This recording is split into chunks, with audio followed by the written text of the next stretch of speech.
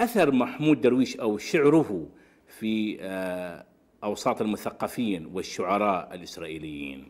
نحن آمنا دائما بأممية النضال المجدي ولذلك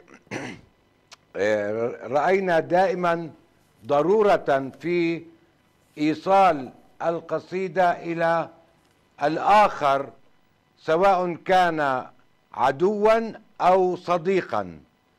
العدو يستطيع أن يكتشف إنسانيتنا وقوة روحنا والصديق يستطيع أن يكتشف إنسانيتنا وقوة روحنا وبذلك نستطيع مواجهة شرور الاحتلال والعنصرية والقمع والعدوان.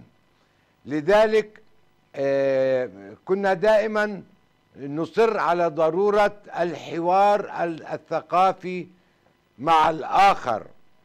وكثيرون أساءوا فهم معنى الحوار وتحدثوا عن التطبيع. أذكر قبل عشرين سنة دخلنا في معركة لأن محمود درويش طالب بالحوار مع الشعراء الإسرائيليين فقامت قيامة خطباء الإنشاء والطبول والزمور الذين أشك في صدقهم دائما وقامت قيامتهم ضد فكرة محمود. ولذلك كان علينا أن نقف إلى جانبه من الداخل وأن نتصدى لهذه الحملة الغبية والجاهلة والمتخلفة.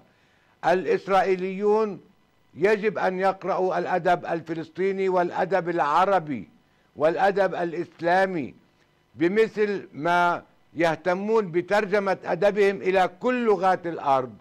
يجب أن يهتم العرب أيضا بترجمة أدبهم إلى كل لغات الكون وللغة العدو قبل الصديق لأن معركتنا ليست معركة سلاح فقط والمقاومة أيضا هناك من يعتقد أن المقاومة هي بندقية وخندق.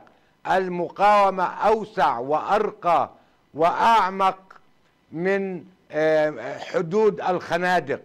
المقاومة الحضارية المقاومة الإنسانية المقاومة الاقتصادية المقاومة الثقافية المقاومة بالإبداع المقاومة بتقديم صورة إنسانية لأمة تشوه صورتها يومياً.